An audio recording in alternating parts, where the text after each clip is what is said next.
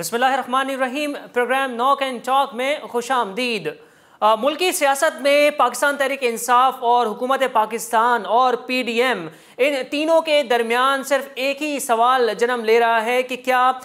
पंजाब के अंदर चौदह मई को इंतबात होने जा रहे हैं या नहीं होने जा रहे? सुप्रीम कोर्ट के फैसले के मुताबिक वफाकी हुकूमत को, इलेक्शन कमीशन को पंजाब में इंतबात के लिए 21 अरब रुपए देने का हुक्म जारी हुआ था, जिसके बाद आज आखिरी रोज़ है और आज जो है इजलास भी है काबीना का सपहर चार बजे, जिसमें ये फैसला किया जाएगा कि क्या इलेक्शन कमीशन को 21 अरब रुपए देने हैं या नहीं देने। तमाम पाकिस्तानियों की नज़रें जो हैं वो इस फैसले के ऊपर लगी हुई हैं और अगर वफाकी हुकूमत इक्कीस अरब रुपए देने से इनकार करती है तो फिर अगले रोज़, यानी कि कल इलेक्शन कमीशन सुप्रीम कोर्ट के अंदर रिपोर्ट जमा करवाएगी और उसके बाद फिर कंटेम ऑफ़ कोर्ट भी लग सकता है। बहरहाल, अगर हम बात करें पाकिस्तान तहरीक इंसाफ और इमरान खान के दौरे हुकूमत की तो गुज्त रोज़ नौ अप्रैल को पाकिस्तान तहरीक इंसाफ की हुकूमत का ख़ात्मे को एक साल मुकम्मल हुआ, यानी कि 2022 नौ अप्रैल की रात जब नो कॉन्फिडेंस मोशन के ज़रिए इमरान खान की हुकूमत को घर भेजा गया और आज तकरीबन जो है इसको एक साल हो चुका है। एक साल के अंदर जो है मुल्क में जो मौजूदा क्वालिटेड हुकूमत है उसकी कारकर्दगी आपके सामने है, लेकिन आज का हमारा ये जो खसूसी प्रोग्राम है इसमें हम रखेंगे आपके सामने इमरान खान के साढ़े तीन साल की जो कारकर्दगी थी, जो प्रोजेक्ट्स थे और जो प्रोजेक्ट्स उनको आगाज़ करना थे जिन प्रोजेक्ट्स के ऊपर काम हो रहा था उनकी तफसीलात हम आपके सामने रखेंगे। फ़ैसला आपको करना है कि क्या तहरीक इंसाफ की साढ़े तीन साल जो दौरे हुकूमत थी, क्या वो बेहतर थी? ना कि नवाज़ शरीफ साहब और यूसुफ रजा गिलानी साहब और जो दीगर वज्रा अजम गुजरे हैं, माजी के अंदर दीगर हुकूमतें गुजरी हैं, उनका टेन्योर पाकिस्तान के मुस्तबिल के लिए बेहतर था। सबसे पहले हम रखते हैं कि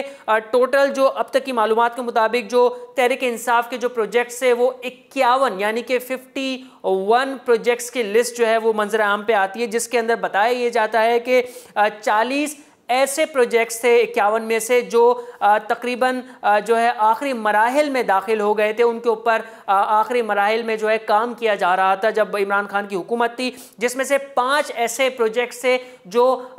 सौ फ़ीसद मुकम्मल हो गए थे, जिनके ऊपर जो है जिनके लिए वो प्रोजेक्ट्स बनाए गए थे। उन, वो लोग इससे बेनिफिट हासिल कर रहे थे। और बताया ये जाता है कि इक्यावन में से छः ऐसे प्रोजेक्ट्स थे जिनको आगाज़ नहीं हो सका और इमरान खान की हुकूमत का खात्मा हो गया। अब हम प्रोजेक्ट्स को वन बाय वन रखते हैं। फैसला आपको करना है कि मौजूदा हुकूमत वाकई इन प्रोजेक्ट्स पर काम कर रही है या फिर इमरान खान, वो वाहिद लीडर था, उसकी हुकूमत, वो वाहिद हुकूमत थी जिसने पाकिस्तान के अंदर जो है नए दौर के लिए जो है अहम इकदाम उठाए। सबसे पहले हम बात करते हैं टास्क फोर्स की। इमरान खान की जानब से task force recover looted national wealth यानी कि ये उन्होंने क्रिएट किया था मुल्क में जो करप्शन के जो पैसे थे करप्शन की जो बात की जा रही थी मुल्क करप्शन की वजह से जो है दलदल में जो है जा रहा था। तो इमरान खान ने जो है एक ये, एक नया जो है इस्टेब्लिश किया था, जिसके अंदर जो वो तमाम पैसा जो गैर कानूनी तौर पे जो है वो हूट किया गया था, जो सेव किया गया था या जो लोगों के पास था उसके खिलाफ कार्रवाई करते हुए उन्होंने जो है ये इकदाम उठाया था। दूसरा ये कि structural reforms establish national commission on minorities यानी कि पाकिस्तान के अंदर जो माइनॉरिटीज़ है जिसमें हमारे हिंदू बरदरी हैं, जिसमें हमारे क्रिश्चन बरदरी हैं, जिसमें हमारे सिख बरदरी हैं और दीगर जो मजाहिब से ताल्लुक़ रखने वाले अफराद हैं कम्यूनिटीज़ हैं, उनके हकूक़ के लिए इमरान खान ने खसूसी तौर पे जो एक कमेटी बनाई थी कि उनके हकूक़ को जो है यकीनी बनाने के लिए जो है इकदाम उठाए जाए। नंबर तीन पे जो आता है, वो आता है violating rights for overseas Pakistani. यानी कि इसमें जो ओवरसीज़ पाकिस्तानी यानी कि हमारे एक बड़ी कम्युनिटी पाकिस्तान की, जो पाकिस्तान से बाहर रहती है, पाकिस्तान को सपोर्ट करती है उनको पाकिस्तान के अंदर आ, आ, जो है वोट का हक देना ये इमरान खान की हुकूमत का अहम एजेंडा था। आ, लेकिन अब जो है हुकूमत नहीं आई है और उन्होंने जो है इसको कैंसिल कर दिया है। तो क्या ये फैसला सही था ओवरसीज़ पाकिस्तानियों को आ, आ, वोट का राइट देना? ये फैसला भी आपका है। साथ ही हम बात करते हैं फाइव मिलियन हाउसेज यानी कि वो गरीब आवाम वो लोग जो महँगा घर अफोर्ड नहीं कर सकते, उनके लिए फाइव मिलियन हाउसेज स्कीम खोली गई थी, जो प्रोग्रेस के अंदर थी, जिनके ऊपर काम जारी था, और इमरान खान की हुकूमत का खात्मा हुआ। अब फैसला आपको करना है कि इमरान खान की हुकूमत बेहतरीन थी या फिर मुल्क के लिए जो है वो ख़तरा थी। अगर हम बात करें पुलिस की तो पुलिस के लिए आउटरीच के लिए प्रोग्राम बनाया गया था, जिसमें हर गरीब तबका जो है, हर शख्स जो है, वो आसानी के साथ पुलिस को अप्रोच कर सके हर मामले के अंदर और साफ़ शफाफ जो है वो तहकीकात हो सके। साथ ही जो है केपी के हवाले से KP police act of two thousand seventeen appoint professional IGPs police reforms का ये uh, इनका प्लान था जिसके अंदर जो है आईजीपीस को जो uh, जो प्रमोट करना था वो जो है uh, एक प्रोफेशनल तरीके से प्रोफेशनल वे के अंदर जो अपॉइंट करना था। साथ ही नेक्स्ट की अगर मैं बात करूँ तो आंसर पार्लियामेंटेरियंस क्यूरीज बिल्कुल पाकिस्तान की तारीख में ये पहली बार हुआ था कि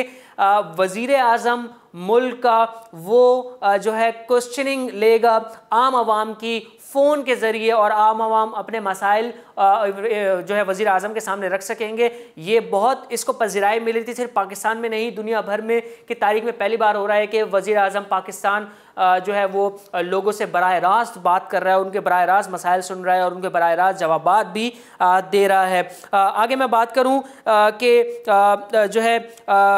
existing B I S P programme यानी कि बेनज़ीर इनकम सपोर्ट प्रोग्राम के हवाले से भी जो है, जिसको एहसास प्रोग्राम में तब्दील कर दिया गया था, लेकिन एहसास प्रोग्राम में और बेनज़ीर इनकम सपोर्ट प्रोग्राम के जो स्केल था, वो काफ़ी ज़्यादा वसी था, क्योंकि एहसास प्रोग्राम के अंदर सिर्फ़ जो है गरीबों को जो है पैसे नहीं दिए जा रहे थे, बल्कि उनकी जो जो सेहत के मामला हैं, उनकी जो एजुकेशन के मामला हैं, उनके जो दीगर अखराज के जो मामला हैं, उसको भी एहसास प्रोग्राम के ज़रिए देखा जा रहा था। तो ये एक तारीख में कह सकते हैं कि ये बेहतरीन प्रोग्राम था। आप भी इस हवाले से हमें ज़रूर बताइएगा। आगे मैं बात करूँ नवा जो उनका प्रोजेक्ट था, वो U N S C resolution resolve Kashmir issue यानी कि यूनाइटेड नेशन सिक्योरिटी काउंसिल के अंदर जो रेजोल्यूशन लाई गई थी कश्मीर के मामले के हवाले से, कश्मीर की आज़ादी के हवाले से, और कश्मीर के जो स्टेटस था, जो इंडिया की जानब से जो है वो ख़त्म कर दिया गया था, उसके हवाले से रेजोल्यूशन लाई गई थी। ये भी जो है तारीख में ऐसा नज़र नहीं आता। साथ ही हम बात करें कि बिल्ड स्मॉल डैम्स यानी कि पाकिस्तान के अंदर जो पानी की जो कमी हो रही थी, उसकी वजह से इमरान खान की जानब से ऐलान किया गया था कि मुख्तलिफ़ सूबों के अंदर छोटे छोटे डैम्स बनाए जाएँगे, जिसमें जो बारिश का पानी है, जो सैलाब का पानी है, जो ज़ाया हो जाता है उसको ज़ाया होने से बचाया जाएगा, उसको सेव कर लिया जाएगा ताकि वो जो है